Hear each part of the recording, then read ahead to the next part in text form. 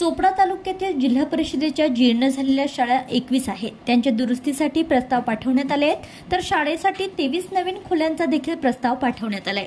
त्यापैकी तीन गावातील शाळेची प्रशासकीय मंजुरी देखील आलेली आहे.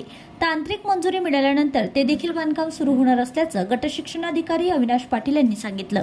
जीर्णावस्थेतली दुरुस्तीच्या संदर्भामध्ये समग्रमधून पंधरा शाळा खोल्या आहेत. आणि इतर ज्या काही योजना आहेत त्याच्यामधून सहा खोल्या आहेत.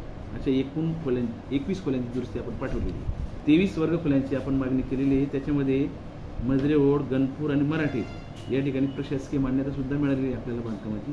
फक्त तांत्रिक मान्यता अजून बाकी आहे. जीर्ण झालेल्या ज्या खोल्या आहेत त्या ठिकाणी विद्यार्थ्यांना बसू नये अशी सक्त सूचना दिलेल्या आहेत आणि ज्या काही वेगळ्या अजून खोल्या आहेत उर्वरित त्या ठिकाणी मुलांना बसवावं किंवा कुठेही समाज मंदिर असेल जवळपास त्या ठिकाणी ब्युरो रिपोर्ट बातमीपत्र.